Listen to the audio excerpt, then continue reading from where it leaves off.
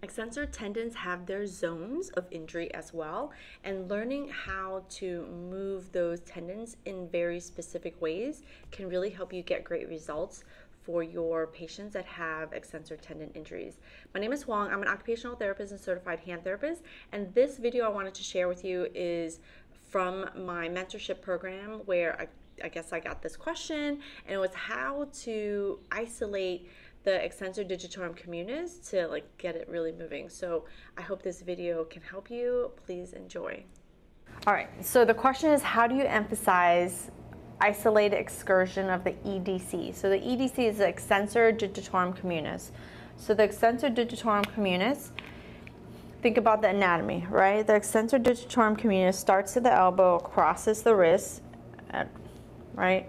And it's four tendons basically to just um, the uh, proximal end of the uh, proximal phalanx. And the job of the EDC is MP extension. So MP extension, that's its sole job. As it crosses the wrist, it helps with wrist extension and also um, does MP extension. So the best way to isolate and do um, just the excursion of the EDC so that you're not involving the other muscles is you think, okay, if that's the sole purpose of the EDC is to, to extend the MPs. How can we block the joints above and below? So how do we block the PIPs, DIPs, and how do we block the wrist? Well, first of all, if your hand is like this, right?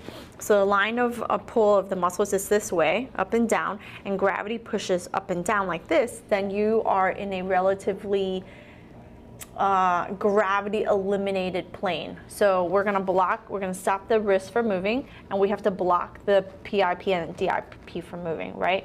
And so you're gonna put them in flexion and then you can work on MP extension, just isolated MP extension. Now, if you're in this position, then it's gravity limit. If you want to work against gravity, so here's a line of pull of your muscles and gravity is pushing down, then you're going to work against that MP. It's pushing down against MP extension. You're going to go into MP extension. You can see the excursion of the of the tendon, right? You can see it, you can feel it, you can put your fingers right there. Now, your patients that need to do that type of excursion might not be able to have full hook fist. So one of the things that I like to do, so I like to have two types of size pens. I'll have a marker or highlighter and then I have a pen. So at first when they do it, if they do just extension here, then you're involving some intrinsics that are gonna work on extension. So if you put them away, you can really isolate just the extensor.